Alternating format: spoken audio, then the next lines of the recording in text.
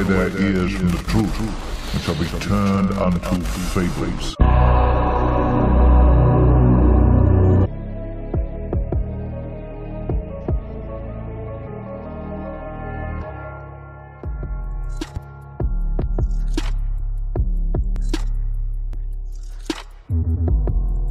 Rejoice not thou, whole Palestina, because the rod of him that smote thee is broken. For out of the serpent's root shall come forth a cockatrice, and his fruit shall be a fiery flying serpent.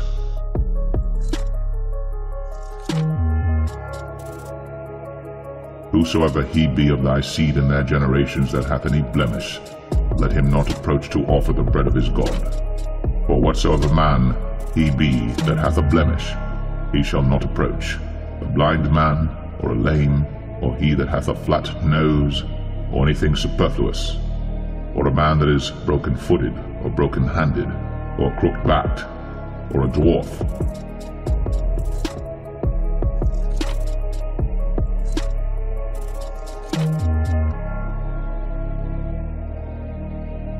And Benaiah the son of Jehoiada, the son of a valiant man of Kabzeel, who had done many acts, he slew two lion-like men of Moab.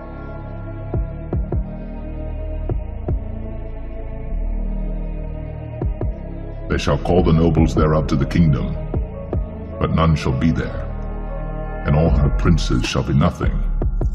And thorns shall come up in her palaces, nettles and brambles in the fortresses thereof. And it shall be an habitation of dragons, and a court for owls. The wild beasts of the desert shall also meet with the wild beasts of the island, and the satyr shall cry to his fellow. The screech owl also shall rest there, and find for herself a place of rest.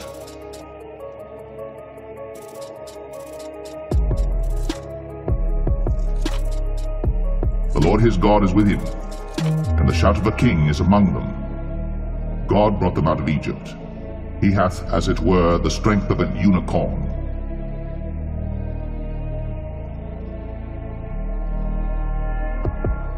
He hath made a decree which shall not pass. Praise the Lord from the earth, ye dragons in all deeps, fire and hail, snow and vapor, stormy wind fulfilling his word. And they shall turn away their ears from the truth, and shall be turned unto fables.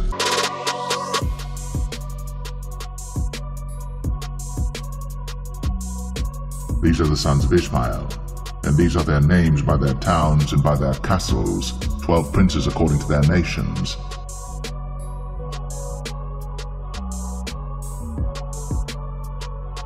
Behold, I stand here by the well of water, and the daughters of the men of the city come out to draw water. And let it come to pass, that the damsel to whom I shall say, Let down thy pitcher, I pray thee, that I may drink.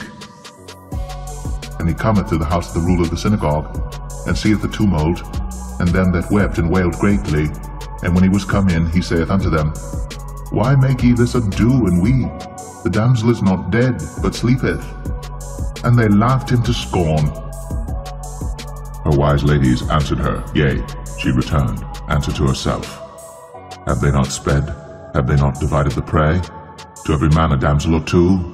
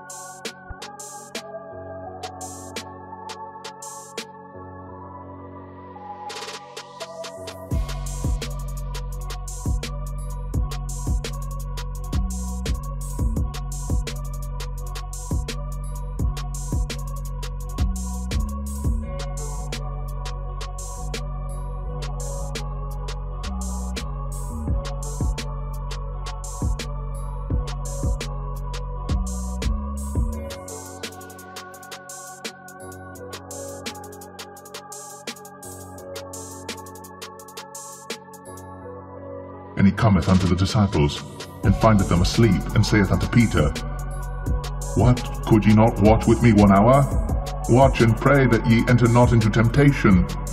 The spirit indeed is willing, but the flesh is weak. He went away again the second time, and prayed, saying, O my Father, if this cup may not pass away from me except I drink it, thy will be done. And he came, and found them asleep again, for their eyes were heavy. And he left them, and went away again, and prayed the third time, saying the same words. Then cometh he to his disciples, and saith unto them, Sleep on now, and take your rest.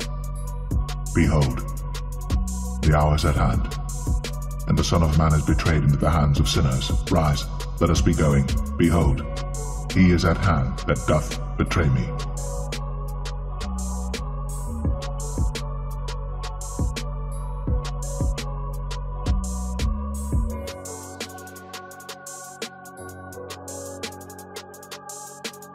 Cometh he to his disciples and saith unto them, Sleep on now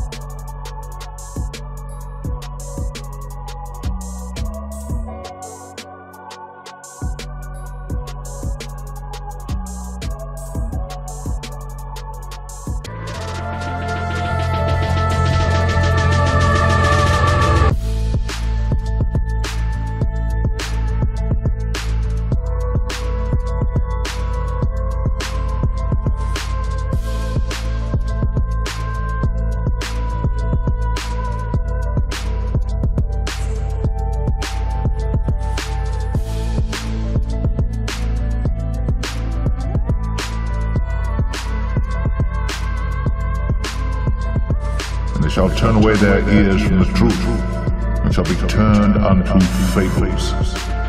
Then cometh he to his disciples, and saith unto them, Sleep on now, sleep on now. Notwithstanding, thou mayest kill and eat flesh in all thy gates, whatsoever thy soul lusteth after, according to the blessing of the Lord thy God which he hath given thee. But Rabshakeh said unto them, Hath my master sent me to thy master, and to thee to speak these words? Hath he not sent me to the men which sit on the wall, that they may eat their own dung and drink their own piss with you? And it shall come to pass in that day, that the Lord shall hiss for the fly that is in the uttermost part of the rivers of Egypt, and for the bee that is in the land of Assyria. If the ear shall say, Because I am not the eye, I am not of the body. Is it therefore not of the body? If the whole body were an eye, where were the hearing? If the whole were hearing, where were the smelling?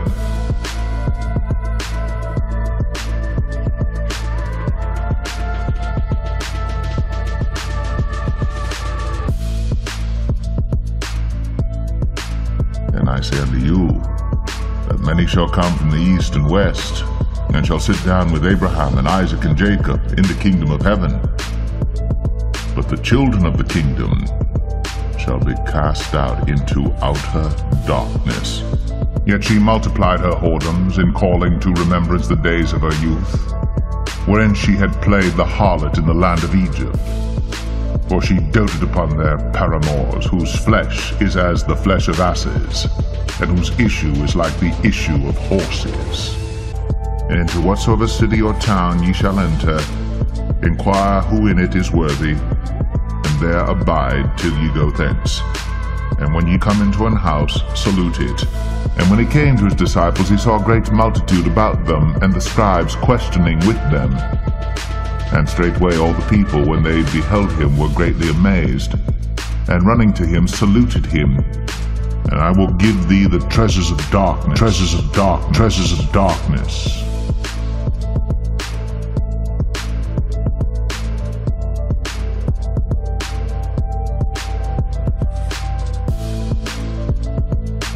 This then is the message which we have heard of him, and declare unto you that God is light, and in him is no darkness at all. And I will give thee the treasures of darkness, and in him is no darkness at all.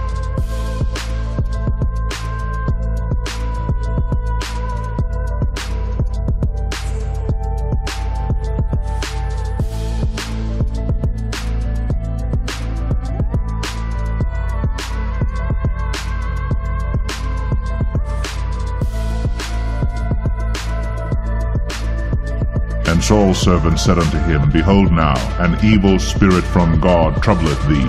Behold now, an evil spirit from God troubleth thee. Let our Lord now command thy servants which are before thee to seek out a man who is a cunning player on an harp. And it shall come to pass when the evil spirit from God is upon thee, that he shall play with his hand, and thou shalt be well.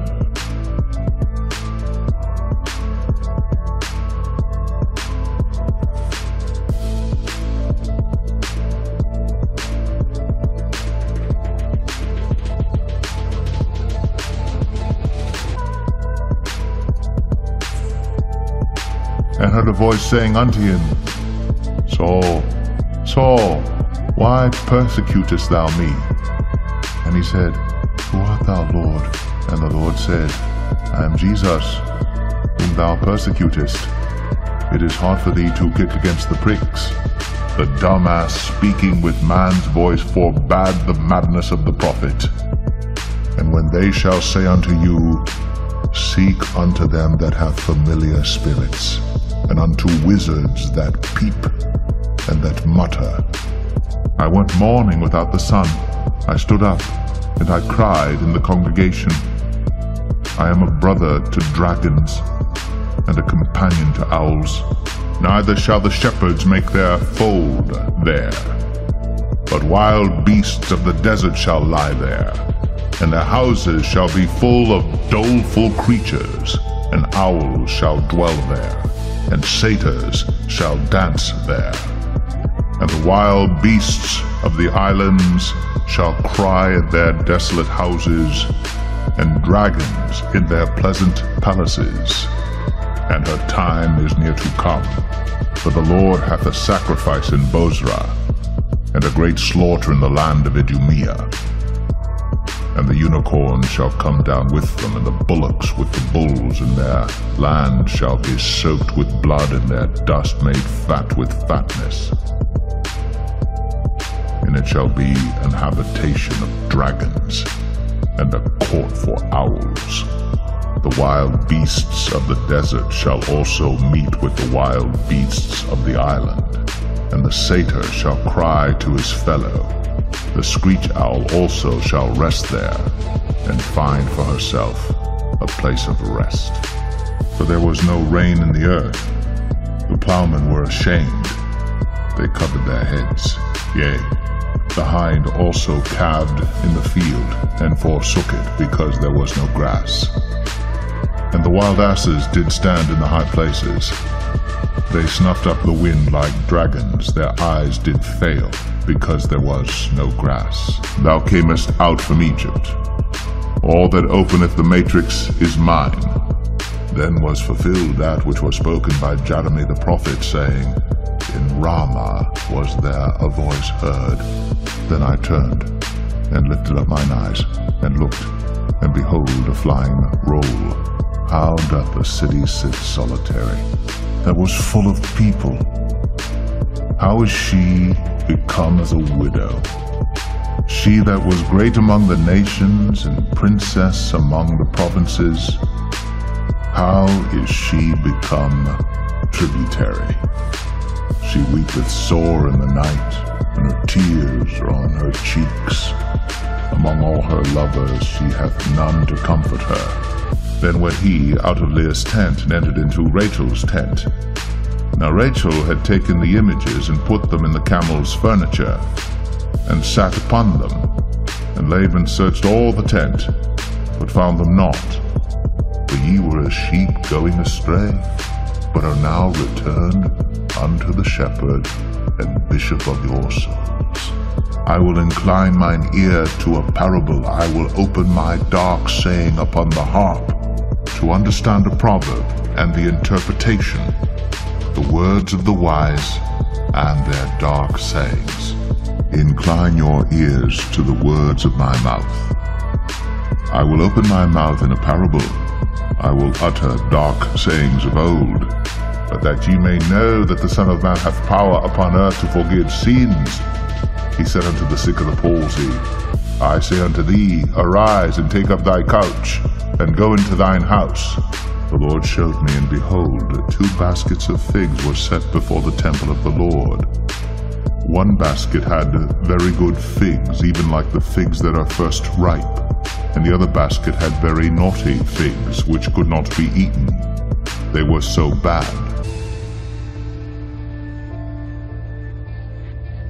And that, knowing the time, that now it is high time to awake out of sleep, for now is our salvation nearer than when we believed.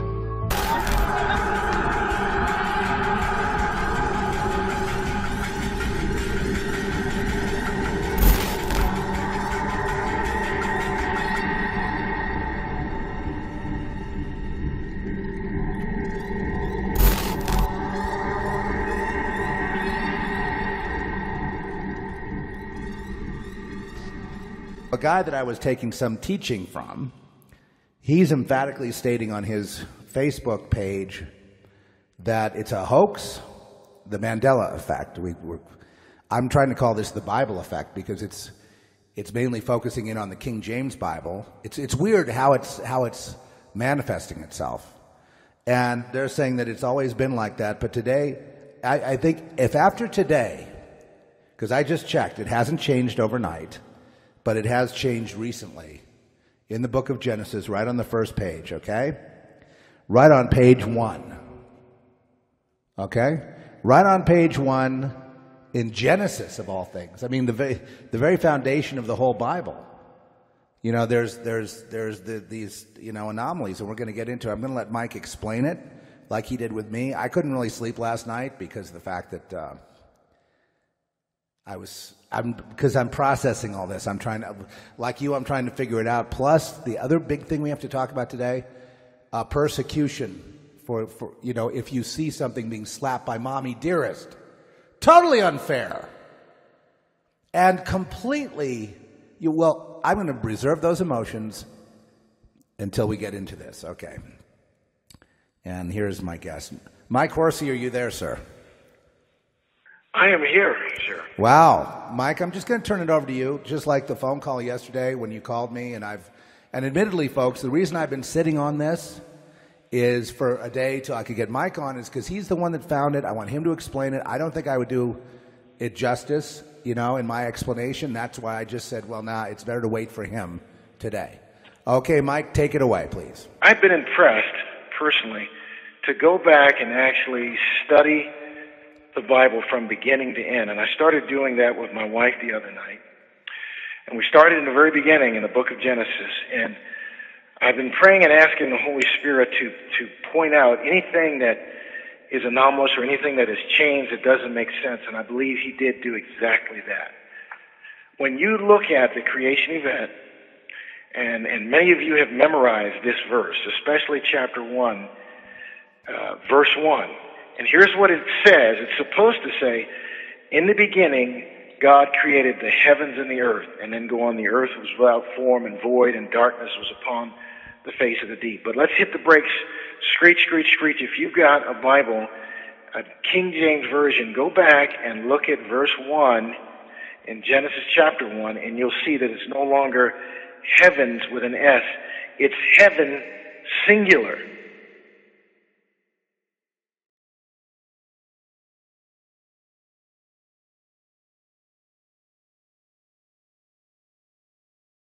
Beginning, God created the heavens and the earth. In the beginning, God created the heavens and the earth.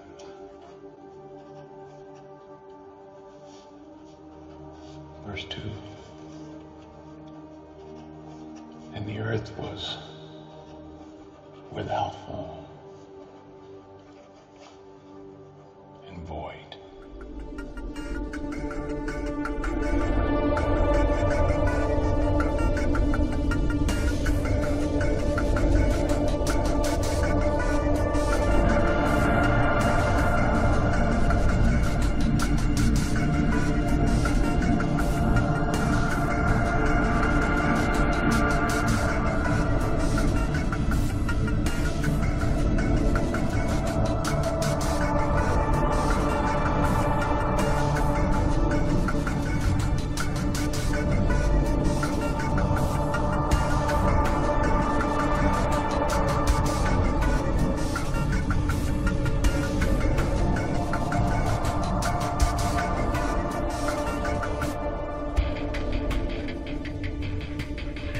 Now, not only is it singular there, it's also singular in verse 9.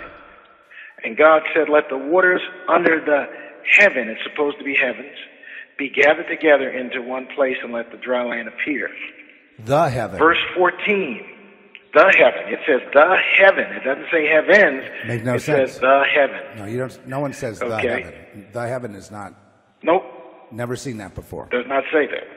It never says that. When you get to verse 14, it says, And God said, Let there be lights in the firmament of the heaven. It's not supposed to be heaven, it's supposed to be heavens to divide the day from the night. Okay? And then he's basically talking about the creation of what we would refer to as as the universe, which has the stars in it. It has the, you know, all the other planets that God had created, whatever form they took, the solar systems and so forth. And, and talking about in verse 15, God said, let there be light in the firmament of the heaven. It's supposed to be heavens. And I always remember it being heavens S. And by the way, if you have a new King James version of the Bible, it still says heavens. In all these places we're pointing out where it's now. Mhm. That's like bottles and wineskins. It's like the New King James is more the traditional one now, and this has got some weird language version now. Uh, the, It's it's it's it's, wor- it's weird. It, it's weird, but the heaven. Uh, have you ever heard? This, you know, it's like God created the, the heaven and the earth. God, uh, let, okay, so it's all the way through here, verse fourteen, verse fifteen, and let them be for lights in the firmament of the heaven, to give light upon the earth, and it was so. Okay, please continue. God, it's all over the first page. Okay. Okay, now we, we're going to go through this and we're going to show that this is a contradiction uh, in the scripture because, well, let, let me just finish up here. When you get to chapter verse 17 in chapter 1, it says the same, same thing. It says, And God set them in the firmament of the heaven to give light upon the earth. He's talking about the, the sun and the moon. But it's supposed to be heavens. Mike, wouldn't it- King wouldn't- James, it's, Wouldn't in the Old English it be, you know, I'm sorry to interrupt, but wouldn't it be in the Old English, um, instead of saying the heaven, if you were just going to do heaven singular, wouldn't you say in the firmament of heaven? You wouldn't say the heaven. I've never seen, Right. I've, al- I've Right. seen heaven before. Right. Heaven singular uh, without the the in front of it. And here I remember uh, that, that it was heavens. You say the heavens or heaven singular. The heaven does not exist in the English language until now. right. hmm Okay. Until now, yes. And you know, in verse twenty, he's basically talking about the fly, the fowls flying across the firmament, the open firmament of heaven or the heavens. But it actually says of heaven, singular. Now, all of these places here are all basically spoken of with an S in the New King James. And as I remember, That is the correct way for it to, to actually read. But now let's look at something here, and I just want to explain something, and we're going to look at something else here just, just a moment. But when God is talking about creation, He's talking about the creation of what we call the universe, uh, the stars, the moon, and sun, and so forth, which is, uh, you know, our outer atmosphere or beyond our atmosphere. And then he's also talking about the creation of the atmosphere right around the earth, which the birds are flying in. You could say that's the first heaven. The second heaven is where the stars and the solar systems are. And beyond that would be where God dwells, which is referred to as the third heaven later on in Corinthians. But now to, when you say heaven, when you actually say heaven, you're only speaking of one. That means that there's only one heaven. Well, The why heaven. is it when you go to verse 2, The heaven. the heaven, right. Now that means there is none but except that one. Right. Well, why is it when you go to verse 2, the chapter starts off, thus the heavens and the earth were finished. Now we're talking about heavens plural. Now it's normal. Now we're referring back to everything mentioned in chapter 1, but now all of a sudden it's plural. Go down to verse 4 in chapter 2, and it says, These are the generations of the heavens, Heavens. The- and the earth. yeah. Well, that's exactly what it was supposed to be, okay? Uh, the generation of the heavens and the earth, when the Lord created, uh, when the, when the Lord, when they were created, in the day that the Lord God made the earth and the heavens. the heavens. Now, you yes. can't have it both ways. hmm But I mean, exactly, Mike. Now that, that when you say the heaven, it makes no sense, even in English. I mean, just as as what I'm saying is, it makes no sense. And it, even if you don't know the Bible, it makes no sense. You say the heavens, yes, the heavens, of course, the heavenlies, sure. The heaven, no, it's never been in the King James Bible. I testify to that. That I'm I'm your witness, at least one. Uh, why in chapter two? You talk about being ins a, a satanic insult. Chapter 2, the first verse, thus the heavens. Oh, man. If anyone says they, they remember, if, if anyone says they remember the heaven, I'm going to smack you upside the head. And I'm going to accuse you of not knowing the Bible at all. Because that, there's just no way. We've been through this since we were kids. We know. We know that we know. Good thing we're older because, you know, it's harder to pull the wool over the eyes.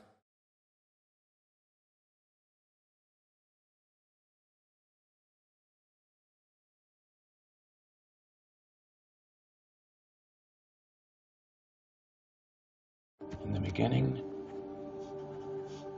God created the heavens and the earth.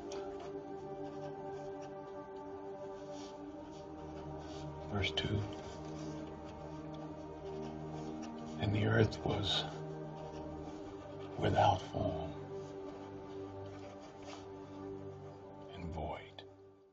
You and I were talking yesterday, Zeph, and it, you know, being a little bit older here, it, we remember. We have a lot of memory here in the past. we can remember back when we learned these things, and now it's saying something different. I mean, this verse, many of us memorized in summer school. I mean, Right. excuse me, in Sunday school rather. Yep. Many of us remember that, and so it's it's just like in your mind, you just remember that. It's very very clear. But you can't have heavens, and speaking of singular, one heaven, and then in the next chapter, all of a sudden, it's plural with an S, heavens.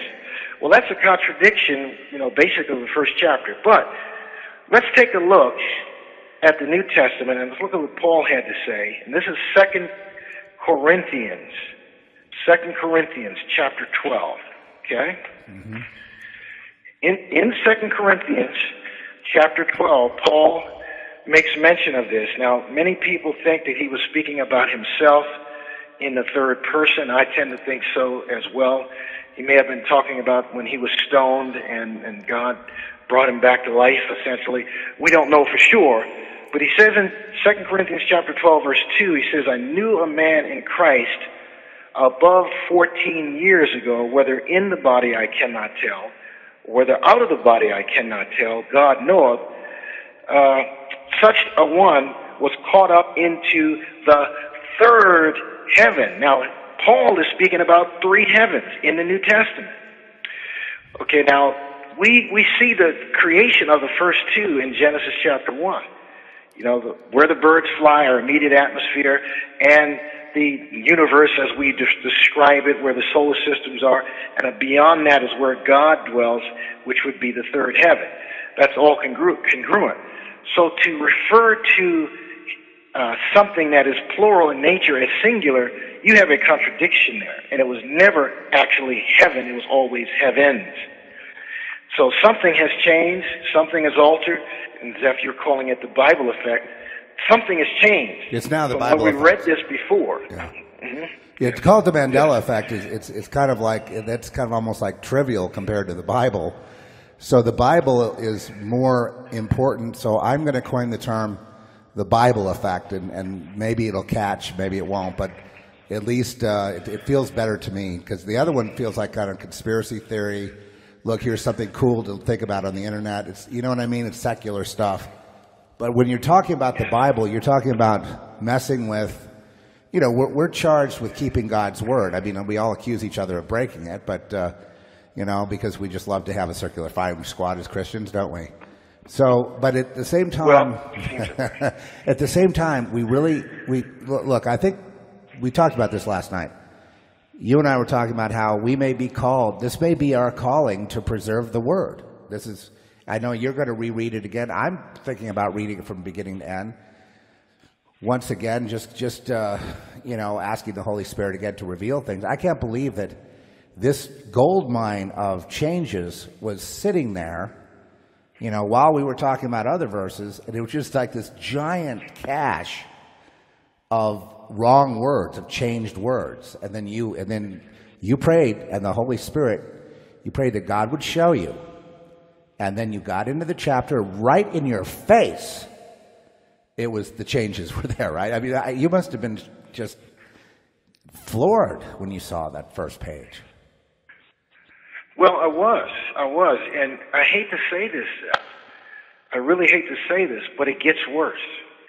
Okay, turn. I want everybody, if you have a Bible, I want you to turn to Genesis chapter three. Now, Genesis chapter three is one of the most significant chapters in the Bible because it is one of the very first mention of the Messiah that was to come. Okay? But I want you to see something here because there have been massive changes. And these changes are done in a way to discredit the deity of God. This is, this is really, really bad. All right, now we're basically looking at the story of the serpent talking to Eve. Uh, I'm going to start at verse 3 Eve is answering It says, But of the fruit of the tree which is in the midst of the garden, God has said, You shall not eat of it, neither shall you touch it, lest you die. Look at what the serpent says. And the serpent says unto the woman, You shall not surely die. And if you're reading the King James, look at what it says. For God knows that in the day you eat thereof, that your eyes shall be open, and you shall be as gods, small g. It never said that. It said, Be like God. You can't change from the person of God to small g God. There is no other God except for God. The Bible said, you shall be like God. Now, if you change this and you say as gods, the implication is there's other gods out there and there are no other gods except the true God. Look at verse 15. Okay, look at verse 15 and it says, And I'll put enmity between thee and the woman, and between thy seed and her seed. Well, her seed is the Messiah. Her seed is Jesus. That is uh, supposed to be a capital S because. This is the first reference to the Messiah. Period. Right. And then, it, worse than that, it says, "It shall bruise thy head, and thou shalt bruise his heel." Well, the it and the he and the his is the same. It's supposed to say, "He shall bruise thy head, and thou shalt bruise his heel." Zeph, I would never refer to you as an it. Understood.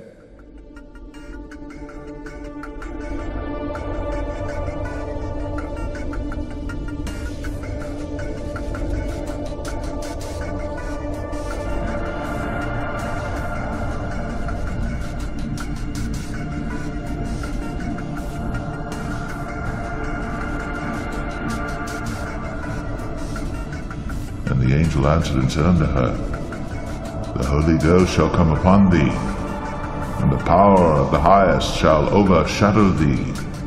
Therefore also that holy thing which shall be born of thee shall be called the Son of God. Therefore also that holy thing which shall be born of thee shall be called the Son of God.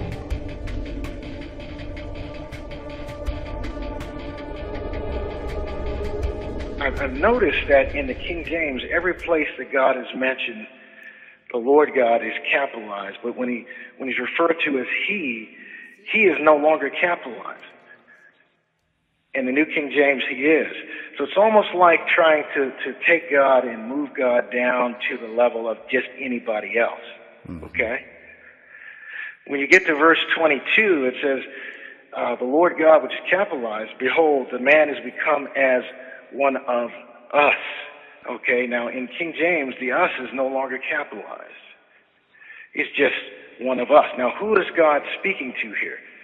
Well, it seems that God is having divine counsel among himself, the persons of the triune nature of God. Some people think it might have to do with the angels. But us should be capitalized, God having a conversation. It's just like in Psalms chapter 2 where God is actually counseling with himself in a sense. It's very, very interesting that these places where it used to be uh, referred to God was capitalized are no longer capitalized, which is taking him down to make him like anyone else.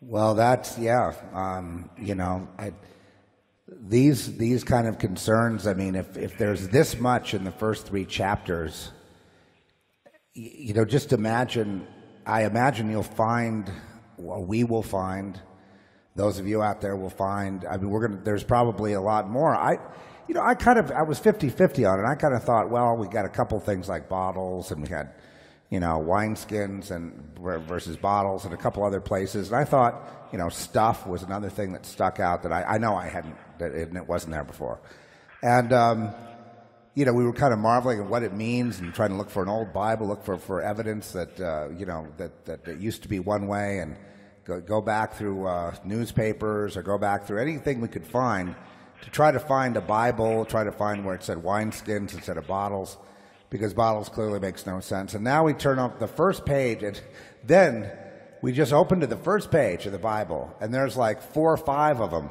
right on page one. The heaven, the heaven, the heaven, the heaven. And um, I, will say this I have never seen that before, and, uh, and I, I, can testify to that. A persecution, you know what I mean? That there would be great persecution for the followers of Jesus, uh, the Messiah. And um, so that, that kind of already sets, uh, you know, the stage, in a sense, for the entire conflict, which is what, what it is. It's a conflict. between the people that hate God, I guess, and people at war with God, and, and those who are with God. You know, there's this natural antipathy between the two. And, um, you know, we see it throughout the entire Old Testament and New Testament and, and, and beyond and into today. And uh, it's, it's, and now we have this spiritual warfare going on where it seems like the, the King James Version is the one that's being, you know, picked on the most. I can't, you know, I think it's, what it is, is just trying to pervert the word, but when you say the heaven, you're in conflict with chapter 2. You're, you're contradicting because you're saying there's the heaven. That's it, the heaven. And you can't just say, well, sometimes it's plural, sometimes it's singular. It's just not a great translation. You can't really say that since it's always been the heavens. It's the heavens in the New King James. And, and finally, chapter 2, uh, the heavens, would then contradict chapter 1, the heaven. And, you know, they say that, well, you know, people that really, really King James people, they say this Bible does not contradict itself. And it can't contradict itself. And God's Word can't contradict itself. Mistaken the, the, the aversion with paper and ink on it to be the Word, where the Word is really God. It's really the people of God. It's really written on our hearts. that That's the Word. Mistaken paper and ink to be the Word, where the Word is really God. It's really the people of God. It's really written on our hearts. that That's the Word.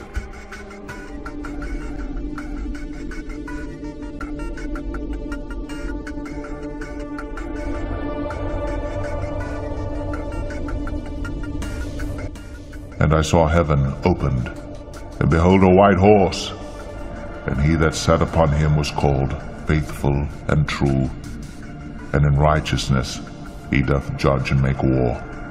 His eyes were as a flame of fire, and on his head were many crowns, and he had a name written that no man knew but he himself. And he was clothed with a vesture dipped in blood, and his name is called the Word of God.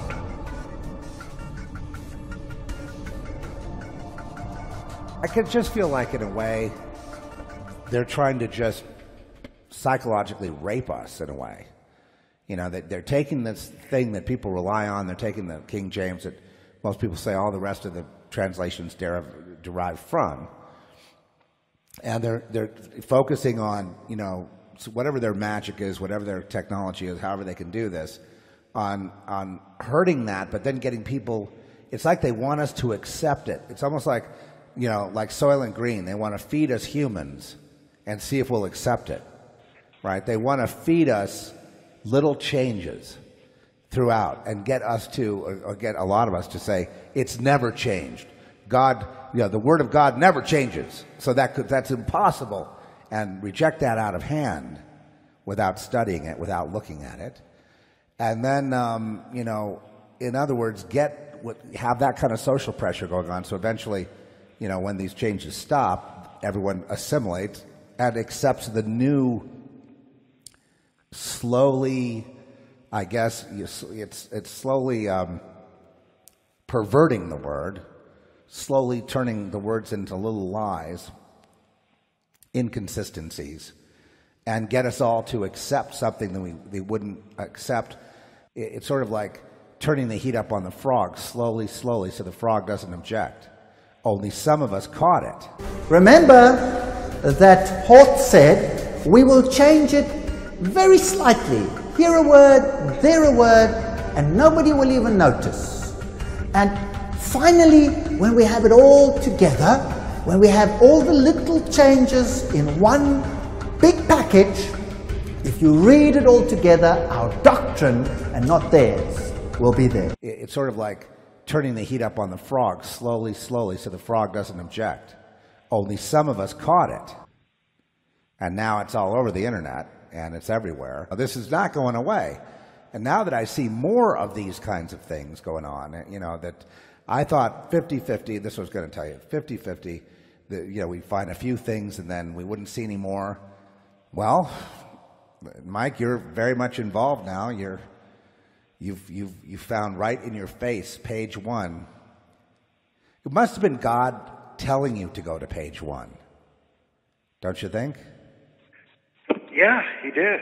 Yeah, he did. I started right at the very beginning and started reading it, and I was trying to remember what it used to say, or as best I could, you know, and was hoping and, and believing that the Holy Spirit would bring to my remembrance all that he said. And immediately I thought, well, wait a second, it never said, never said that in the singular. And that doesn't fit with what it says in chapter 2. So what, what's, something's wrong here. And, and clearly there is a contradiction here. It was not heaven, it was heavens. Right, I, I remember it as heavens too. I mean, it's it's huge because it's all over it's all over page one. It's like they're just sticking in your face just to see who can see it and who can't.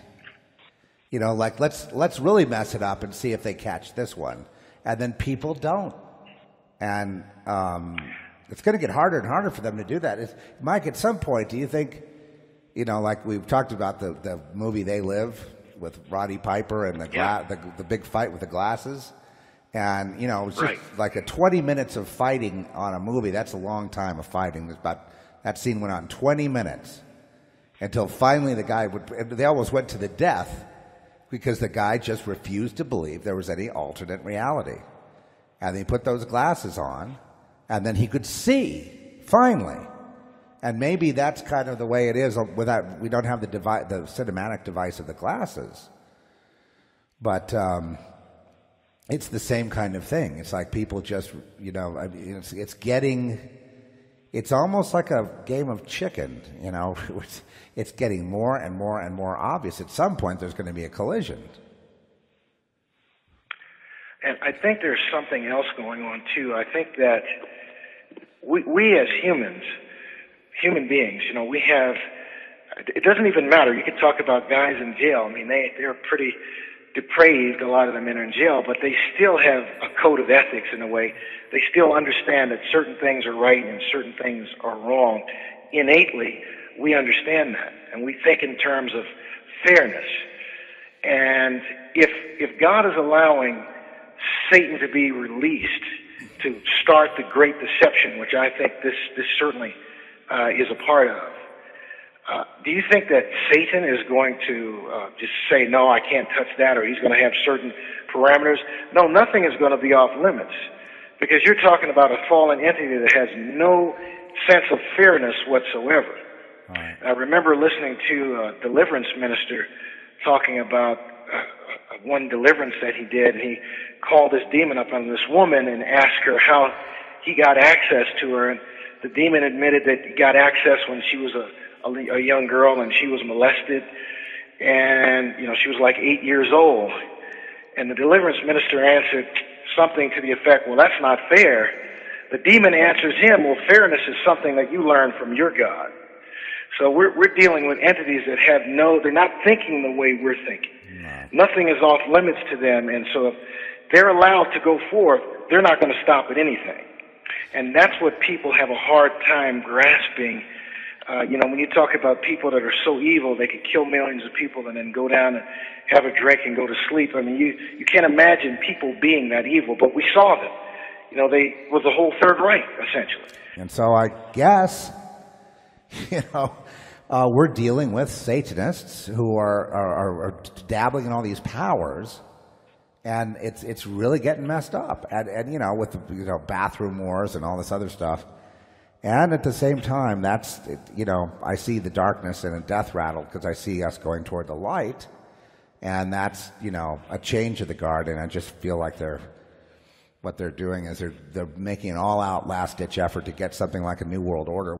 They don't have patience anymore. They don't have, they, they just seem to want what they want when they want it, but they seem to be able now to manipulate time, space, and now Bibles uh, to bend everything to their will, to the reality they want, which is an open, satanic, uh, pedophiliac, black magic, huge sorcery society that enslaves all people and it's unfair, right, Mike? Unfair to all people and uh, forces yes. people to into slavery of taking the mark, uh, you know, taking a, a, chip or or at the, at the uh, you know, and and you know, the Bible says worshiping the beast, you know, the Antichrist six six six of Revelation, and the, in Daniel uh, seven and eleven, and it just seems it's pretty scary. But I know God raises up, you know, the good comes because you see this what, what the Bible's talking about is the very last, you know, small period of time before everything changes. That's the good news. You know, meaning it, it, it, changes forever. It goes back, it goes to, to the light, to good, to the new Jerusalem, new heaven and new earth. All the tears are gone, all the past is gone, and people are restored, and, and uh, you know, smiles return to their faces, and the, this bad, horrible age, the, the worst age of man ever, is finally over and people can rejoice. Uh, but yeah, that the last couple years would be just pretty much hell on earth, pure hell, right? Well, yeah, and I mean, if anybody doubts what you said, I mean, all they need to do, Zeph, is to look at the dedication ceremony to the opening of the tunnel in Switzerland oh. and see how overtly satanic. Oh. I ah. mean, it was it was an incredibly satanic invocation worse than anything I've ever seen in the public arena.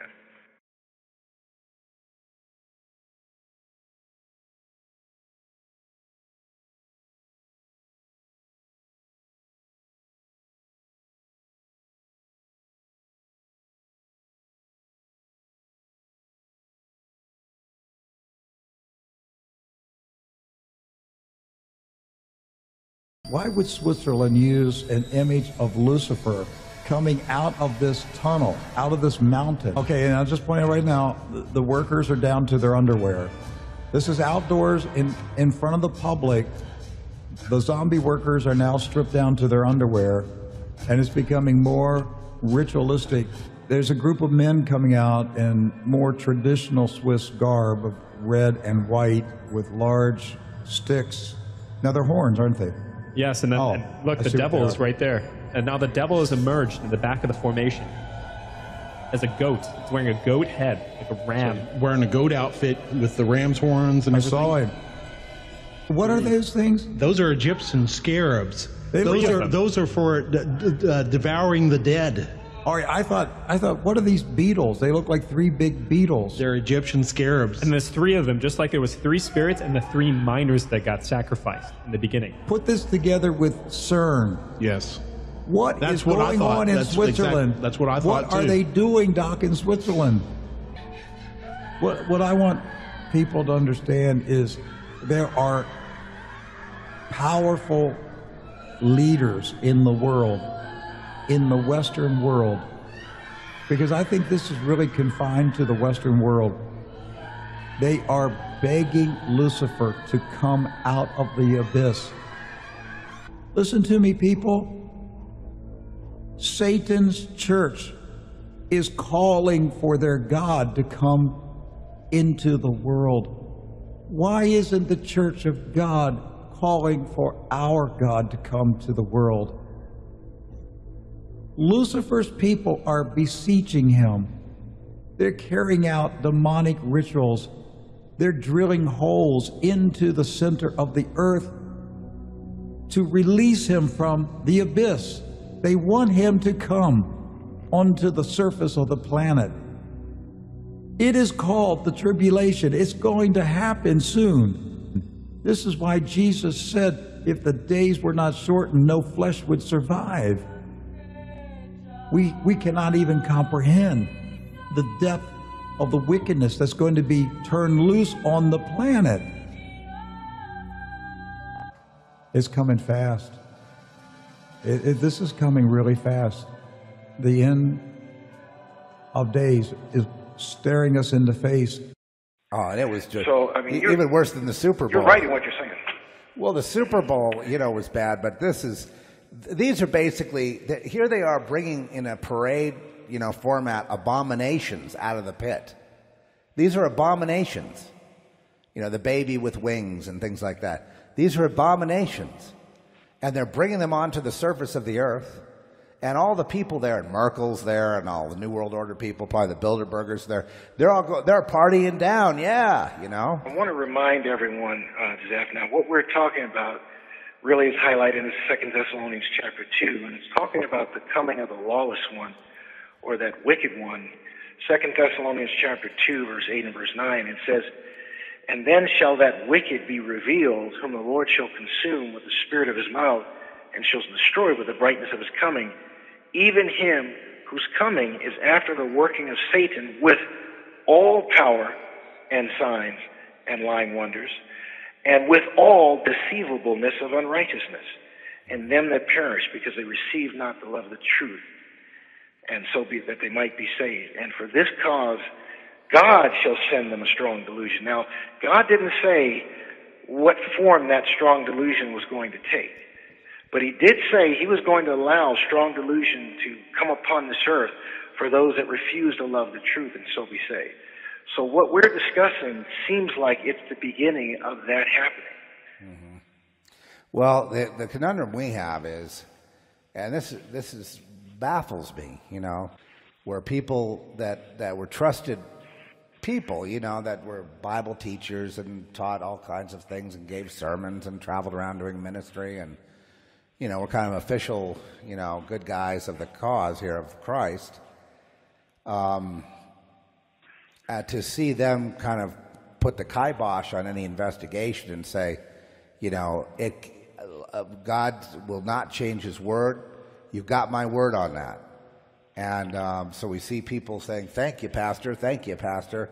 And then about four down, there's a gal that says, "You just can't see it. That's all."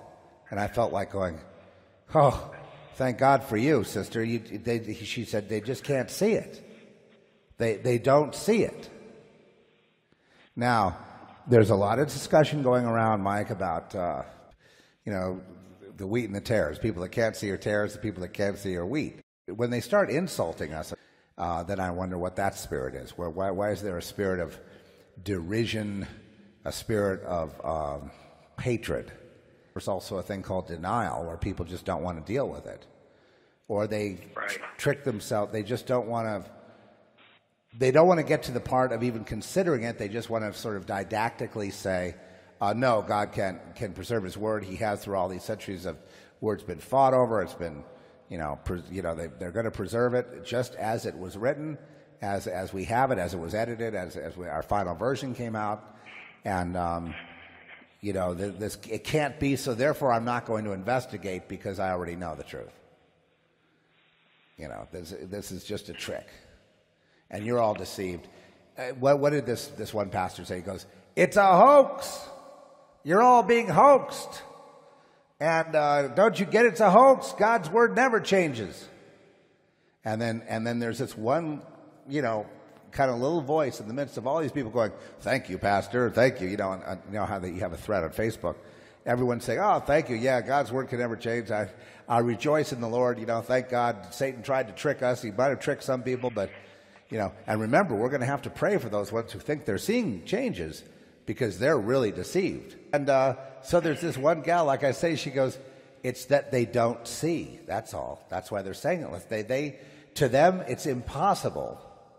that anything like this is happening. The accusations are flying, the shaming, the guilt, the you know, guilting and shaming people into confessing, even if they don't believe it, just to get the, just because they want to be liked, they don't want to be rejected, they don't want to be made into outcasts. If you don't see it, it must mean that you're the kind of person that has a real hard time with stuff like this, that it just wants whatever this is, whatever you've been given, to deny any kind of change, anything that- that's happened, say it's always been that way, and convince yourself, and then go on the warpath. But you're talking about too many credible people here. You made a little mistake. You're talking about too many reasonable, credible, good people whose memories are perfectly well intact. You want to go up against all of them?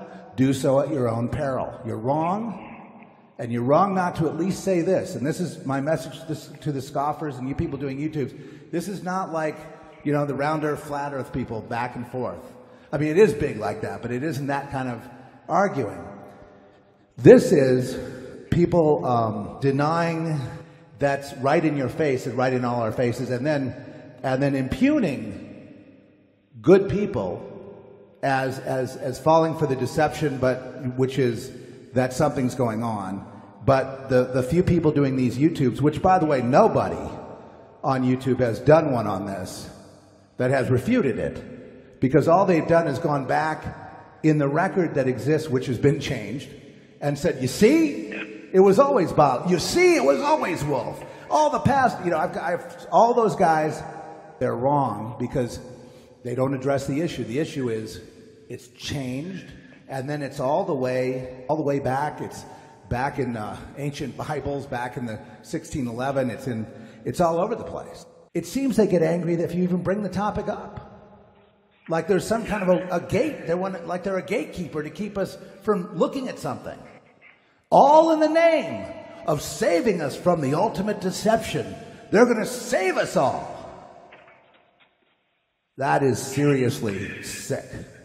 Memory is right. You, you, you folks out there, your memory, your memories are right.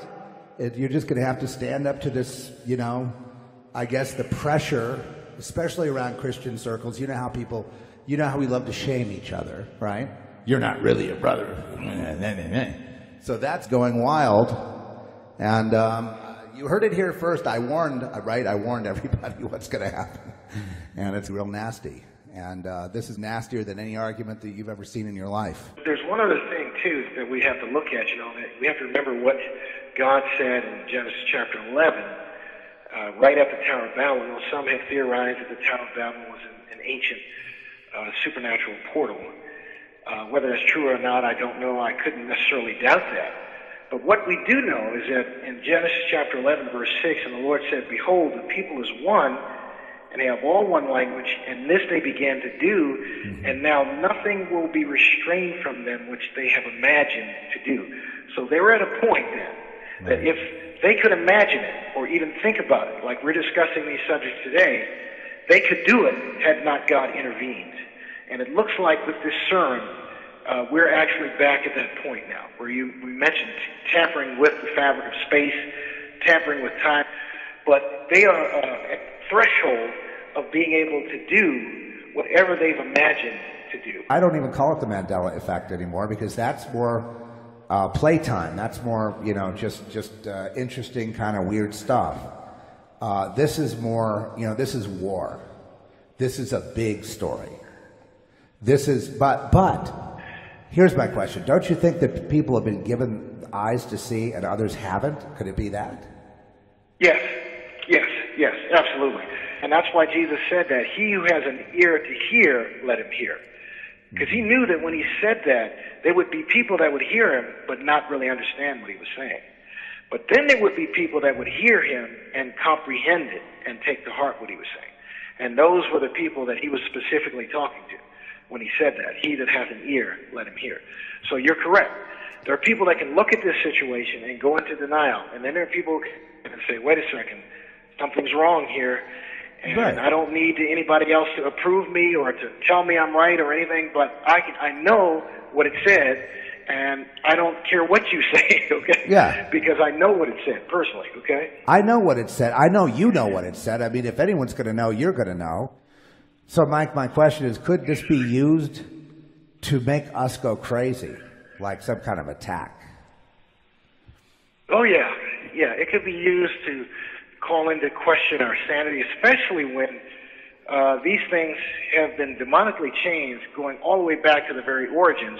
But now you you can tell that it's not of God because of little cracks, like you you mentioned. Now anything that God does is perfect. Perfect. This is not perfect. This No, not perfect. it's It's, messy. very powerful, but it's but it's imperfectly done. Right, right, Okay. right, right, right. Amen. Amen. Okay, so we know that that you know that is the source of that would be a satanic power that would be able to do that. You know, be able to change it in a dramatic way, but imperfectly. So well, it's all witchcraft. God, it's, yes. it's, it's all witchcraft. I mean, even CERN is witchcraft. So the whole thing is witchcraft. And you know, I, I've known about powerful witchcraft and sorcery, being able to to move planets around, to move stars around in the sky, you know, things like that. You know, same kind of stuff we're seeing here. There's a lot of people say that God would never allow His word to be changed. What do you say, Mike, to those people out there who feel like if they can see this, they're saying, is God letting his word be changed or is it a deception? I mean, how do we how do we think about that? Well, actually, God's word is not changed. You know, it's immutable. It is an immutable law. But what has been written down for us to read has been changed. But you know, God Himself and His law is not being altered and is not changed whatsoever. He meant exactly what He said. That has not changed whatsoever. But the the, the instrument that's of, where that word has been written down, that's being altered now to try to deceive. We're seeing right now deception that, well, it appears that it was always like this, and we know that it wasn't. We know it wasn't. Yes. We know it wasn't. Okay, we know that it wasn't. Now we have even Christians that are starting to say, well, you guys are just zapped out crazy. Because look, it's written right here. Yeah, it is written there, but it always it wasn't always written there. And, Sorry and, the, and the verse and the verse there that works is, you know, a brother will turn in brother for death. I mean, you take you you Yes. amplify that out enough, and they're crazy. And, and this, I believe, is is starting here, but it's just beginning to go. That's why I don't want to call it the Mandela effect, because it's it's so much more than than just like the last few years. Someone would say, "Well, I noticed that you know something changed on a TV show." something changed on uh, a label, uh, Captain Crunch. I mean, these are silly things, right? And so it didn't get too far. You'd, they'd kick that around and say, wow, that's weird. Oh, what? And then it, and they'd leave it at that. What we're talking about is so much more intense, so much bigger of a topic that it's unfair to call it the Mandela effect or anything like that because they have ideas there that, you know, there's dimensional shifting and dimensional blending and all that. Who cares what the mechanism is? The fact is, it's going on and it's huge. It's not some little curio on somebody's YouTube called the Mandela effect. You're talking about cosmic changes meant to, made to look a certain way to deceive people and to um, also, you're the second person that I've heard, Mike, talk about this uh, the coming of the Antichrist with all lying signs and wonders uh, that would deceive even the very elect if that were possible. Uh, that that, that uh, through, through all blasphemy and through these amazing signs, people will worship the beast. I mean, that's you're, you're talking about the kickoff of that, right? Right. So that's big.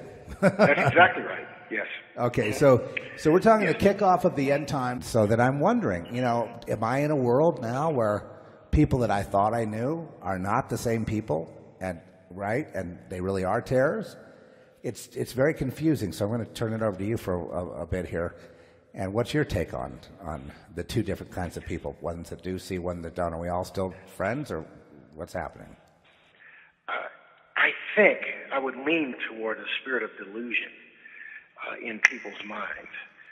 It, it's really uncomfortable when you take the uh, fundamental underpinnings of society and you, you start to alter it. Now, I don't want to make light of this, but when you're talking about product labels changing or S being removed or something being spelled a little bit differently, well, that's a little unsettling, but it's, it's not really significant compared to when we're talking about the Word of God and those changes that we're seeing there. Right. I mean, this is the fundamental underpinning of our society.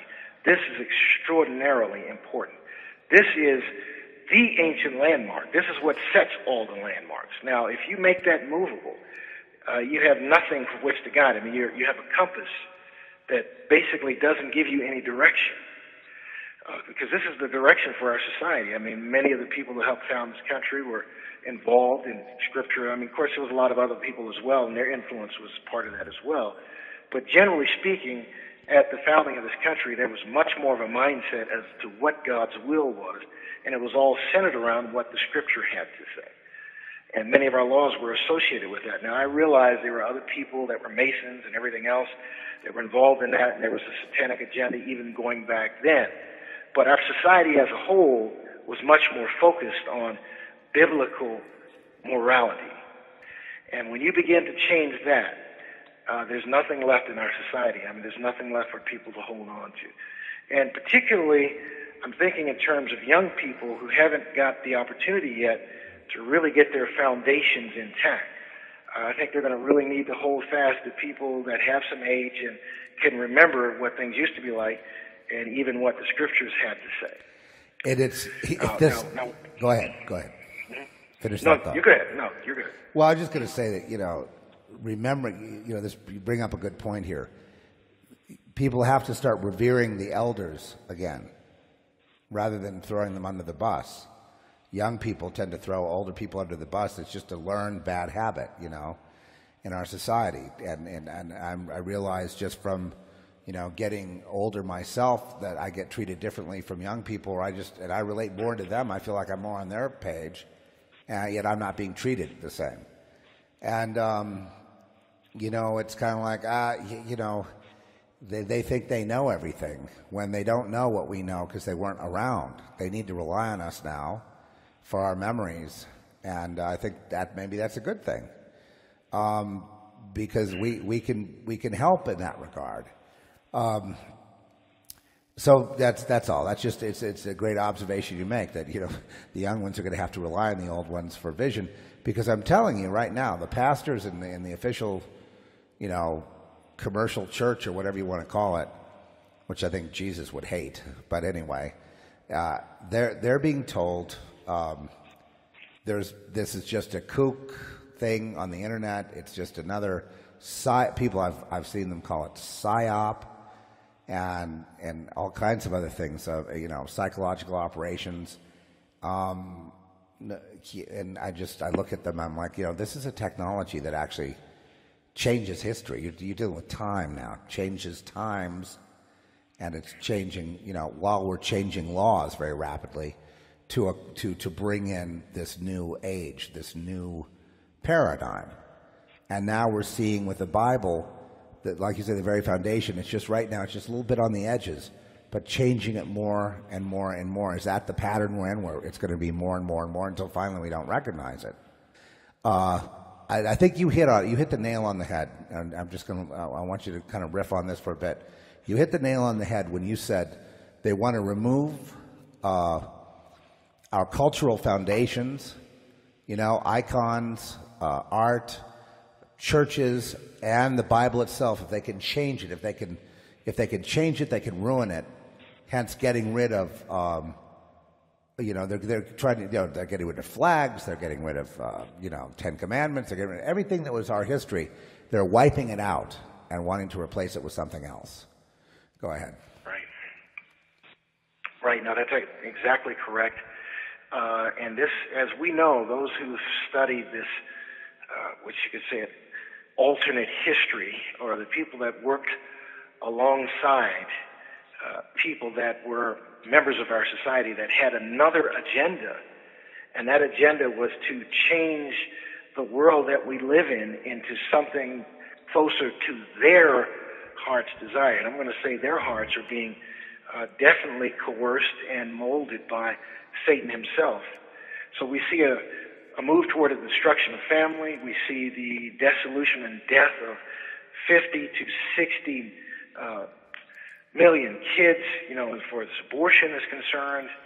Uh, we're seeing the promotion of homosexual lifestyles as normal, which don't reproduce. They don't have the ability to reproduce and so forth, at least not through, through natural means. You'd have to go through cloning or in vitro or something like that, but there's not a production. So you're changing all the fundamentals, fundamental uh, moorings of our society. Well, that's the preferred. Something else. That's the preferred in our culture. Um, there was a guy, they, they were having the equality conference, and the only people that were not allowed in were, would be uh, white heterosexuals were banned. All of our cultural norms have been changed. The bathroom war, that's another one. It's all about changing all the customs, changing the form, changing the norm. And then, and then you know, high art is uh, the, uh, the, the, the little parade, the little whatever, uh, the rolling out of the uh, Underground Railroad in Switzerland. I mean, that's basically um, considered the high art now. Abomination upon abomination. We're doing it at the Super Bowl. Everything is being profaned. The Bible is being profaned. Uh, not God's word, but the Bible's, especially the big one, the KJV, which is the kind of the granddaddy of them all, right? So, right, right. well, and I think I think we, we talked about this before, but I think it's worth repeating. And one of the things that we would notice, and it was mentioned in Daniel chapter 7, verse 25, where it talked about the coming of this Antichrist, and it says, He shall think to change times and laws. Now, those are fundamental moorings of society. You know, the times is appointed seasons. Uh, the laws are decrees, and this is what we're looking at and what you and I are discussing. They're making an attempt to try to change God's decrees as they were written down in the Bibles that we read. Now, as you mentioned, the Word of God has not changed. The Word of God is still what it always was.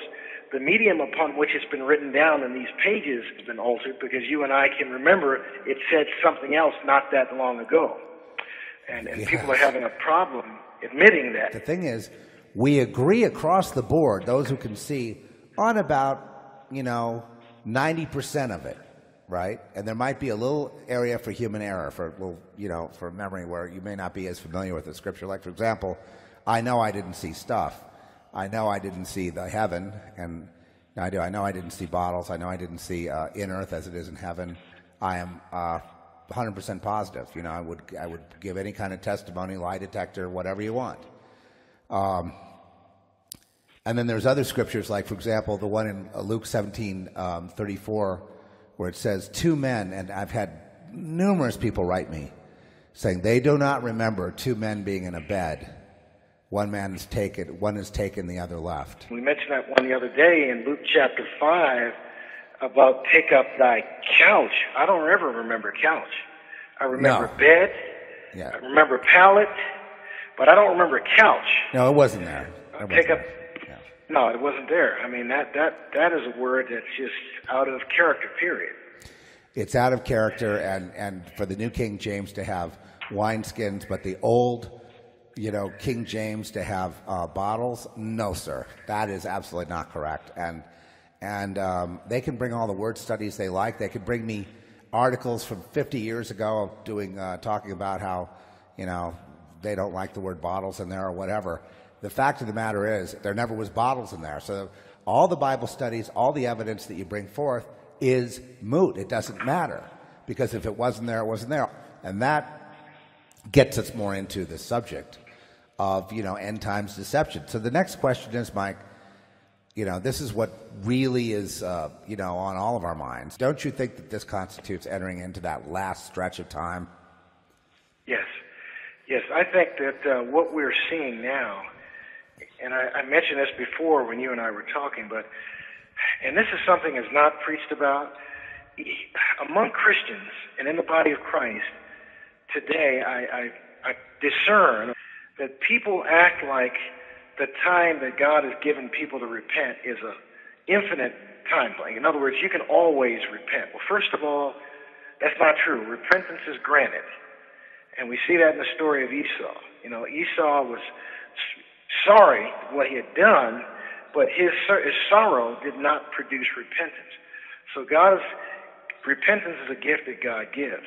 The scriptures point to a time when God is no longer striving with man. That happened also in the you know in the book of Genesis before the flood.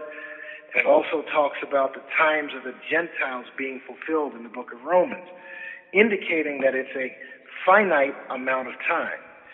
Jesus said in John chapter 9 verse 4, I must work the works of him who sent me while it is day.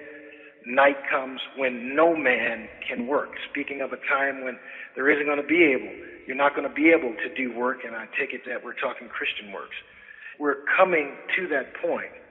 Now, one of the other indicators, because Second Thessalonians chapter 2 says, you know, that day we gather back to Christ concerning our, the coming of our Lord Jesus Christ and our gathering to meet him.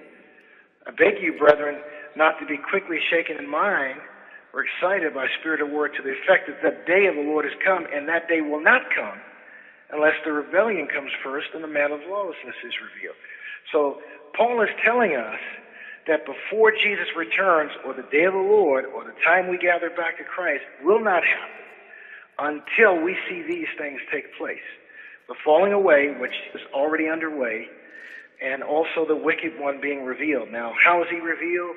In the changings of times and laws. And ultimately, when the stage is properly set, the man himself incarnate will come on the stage. And I think we're getting very close to that.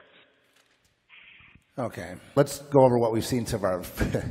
right in your face, folks. You know, just to recap here. The heaven makes no sense in the very first verse of Genesis.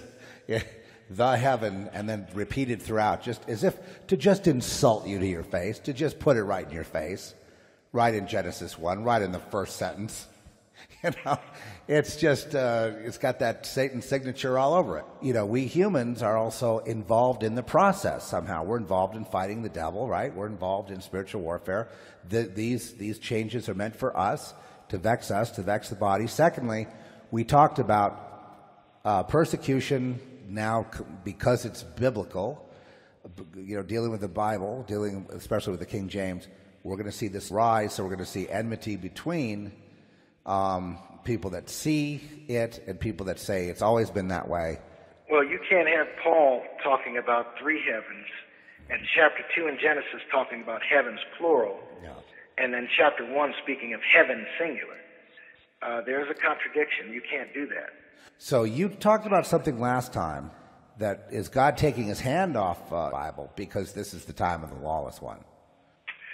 Well, you know, it looks like this deception has begun, and that is a part of it. Now, when we look at John chapter 1, it's very clear in the beginning was the Word, and the Word was with God, and the Word was God. He was in the beginning with God. So Jesus Christ, the person of Jesus Christ, is the Word of God. And we know He does not change because He said that in Hebrews uh, Jesus Christ the same yesterday, today, and forever. So the Word of God has not changed, does not change, will not change. The mediums that we're looking at, where the where His Word has been written down, have been altered.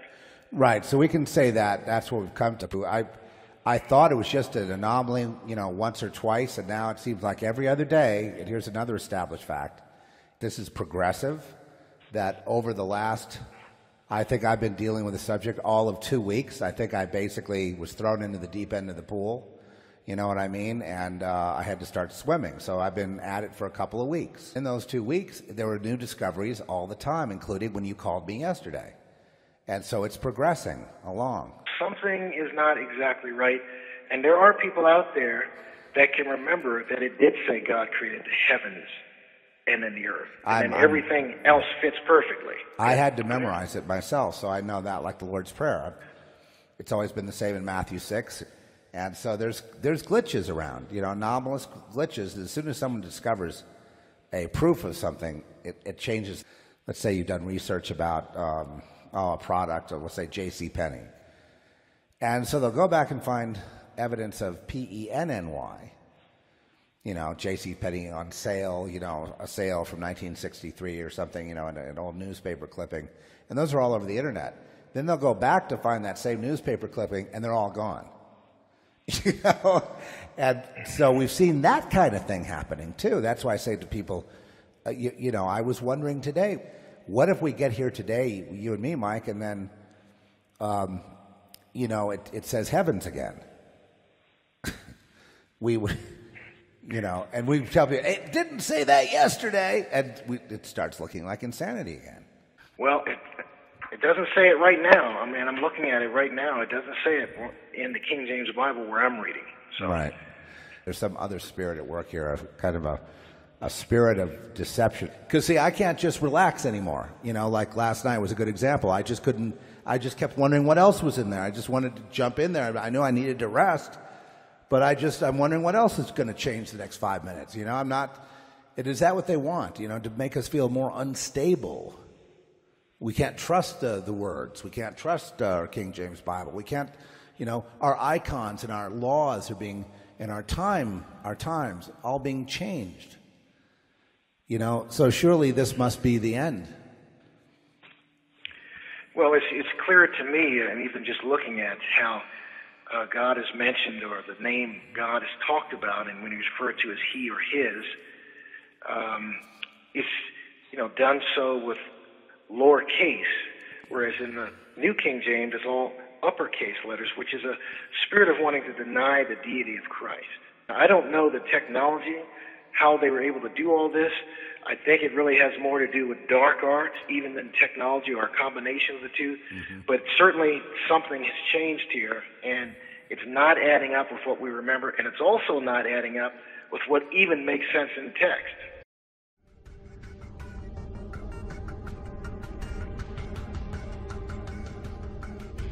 How are we going to do all that we're supposed to do when so many are forsaking you and people are going into hiding and they're afraid the ship is sinking? What do we do, Lord?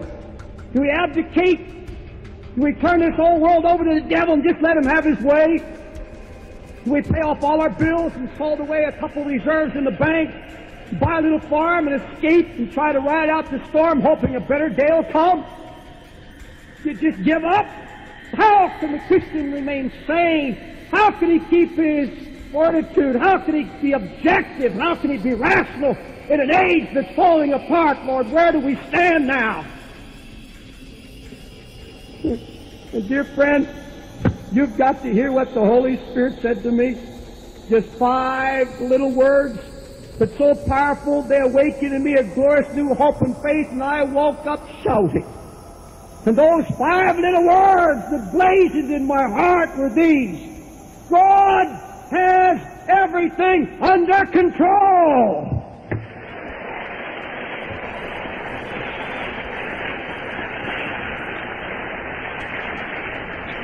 God has everything under control, and we're under His control, so we are not afraid of the devil. It is the fear of the Lord that's the beginning of wisdom, and God's message is this I have not given you the spirit of fear, but of love and power and a sound mind.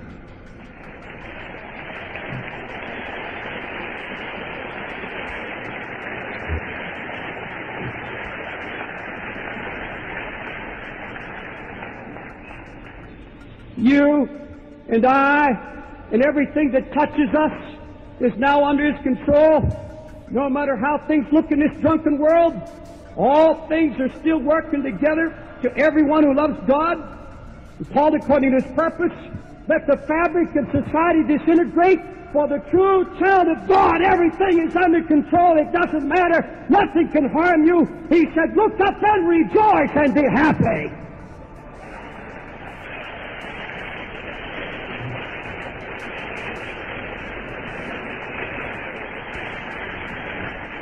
The future is under His control. God has everything pre-programmed. He knows the exact moment that Christ will return. The final tribulation, the judgments, the battle of Armageddon are all on His calendar, and He's blocking them off one at a time.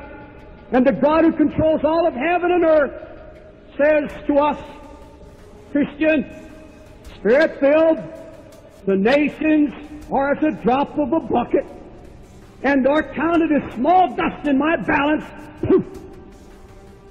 The nations of the world are just a drop in the bucket. All nations are as nothing before me. They are less than nothing. Don't worry about worldly powers. I've got it all programmed.